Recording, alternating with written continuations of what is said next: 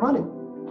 All right, so thank you, thanks to everyone. Um, one thing I need to point out is this is decentralized, it's, it's a blockchain, and uh, you might come up with some idea, very, very fancy idea, but also think out of this. Uh, uh, like how do you connect your decentralized application to reality? How does your DApp uh, help people in real life? That's very important. Remember the, the second message I want to deliver at the beginning. The technology prospers if that meets the real demand of people. All right, so that's it. Thank you so much for your eye-opening lecture and your precious time. Uh, so uh, we, we really want to thank all the supports. Um, and also here is a picture of all of the students. Um, I, I, think uh, the, the lecture I learned the most from today, I don't know if it's the same um, from your side, is that everything has problems. Every technology has problems.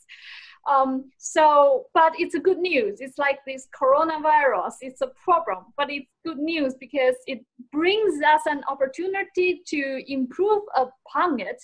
So for the next two weeks, what you are going to do is you are going to find the pro and cons of current technology, what's its limitations, and most importantly, you are going to improve upon it. Um, and like uh, what Dr. Liu uh, is doing um, to um, meet the real needs of people um, by creating new products and new technology. So thanks everyone. Um, and I, uh, for the last I want to share is a sentence from Alchemist. Um, so when you want something, the whole world conspire to make it happen. So before you really make it, you really go IPO, ICO, whatsoever, you have to uh, first want something and trust you can achieve it, uh, and then you just go do it. Thanks everyone. I think that's all for today. And thanks, uh, Dr. Liu again.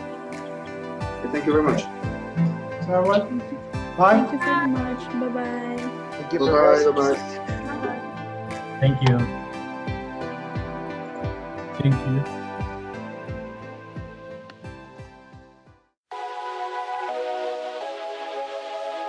So yeah, I guess you need to click the, the mute button in the left corner. Oh, okay. Can you can you hear me now?